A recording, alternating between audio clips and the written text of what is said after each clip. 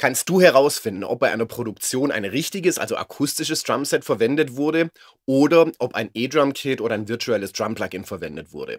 Heute wirst du es rausfinden. Nach wie vor gibt es unter Bands und auch in Internetforen immer noch hitzige Diskussionen darüber, ob du gerade für Rockproduktionen unbedingt ein richtiges akustisches Drumset brauchst oder ob man heutzutage auch virtuelle Drumstudios, also Drum-Plugins oder eben einfach E-Drums benutzen kann. Manche behaupten felsenfest, dass sie sofort hören würden, wenn dieses Drumset ein virtuelles Drum-Plugin ist manche behaupten, das kannst du überhaupt nicht mehr hören. Man kann das einfach nicht mehr unterscheiden. Diese virtuellen Drumstudios sind heutzutage so gut, dass das keinen Unterschied mehr macht. Virtuelle Drumstudios oder eben E-Drums haben einen entscheidenden Vorteil, gerade vielleicht für jüngere Bands, die nicht so viel Geld haben, ist, es ist, diese Drumproduktion ist viel billiger, weil du musst nicht in ein großes Tonstudio gehen, die Drums abmikrofonieren, den, den Sound Engineer bezahlen und so weiter, sondern du kannst das über MIDI alles triggern und du hast eine größere Versalität. Das heißt, du kannst die Sounds im Nachhinein, wenn es MIDI-Spuren sind, dann einfach auswechseln. Aber wer hat jetzt recht? Das will ich unbedingt herausfinden und deswegen habe ich zu einem Song einmal mit einem akustischen Drumset eingespielt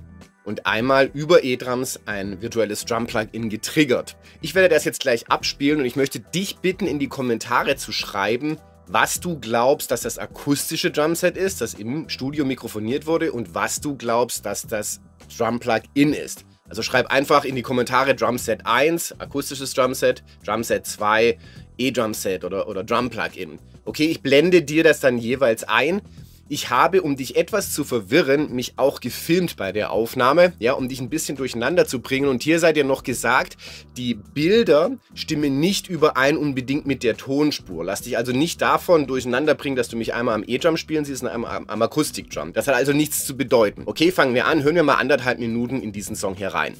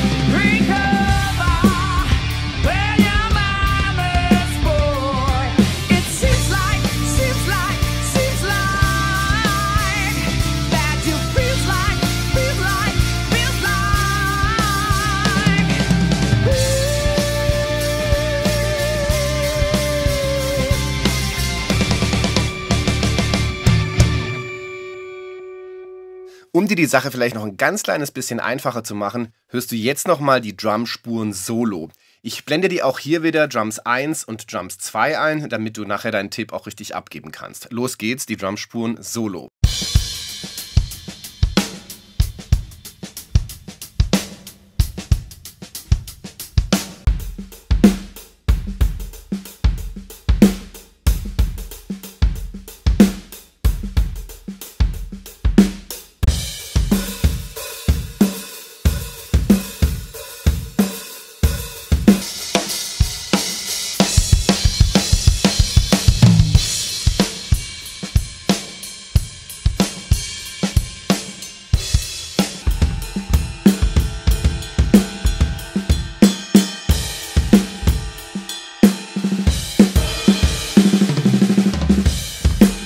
Ganz kurz, um Drumspuren von einem akustischen Drumset professionell aufzunehmen, musst du natürlich wissen, wie man das macht. Du musst wissen, wie man sie mikrofoniert und so weiter. Und falls du dich da noch unsicher fühlst, auch beim Abmikrofonieren von Gitarrenamps und so weiter, dann empfehle ich dir mein PDF in 10 Schritten zur perfekten Tonaufnahme. Da zeige ich dir genau mein System, wie ich Gitarrenamps aufnehme, wie ich akustische Drums mikrofoniere, auf was du dabei achten musst, wie du einen Sänger für eine Aufnahmesession optimal vorbereitest und so weiter.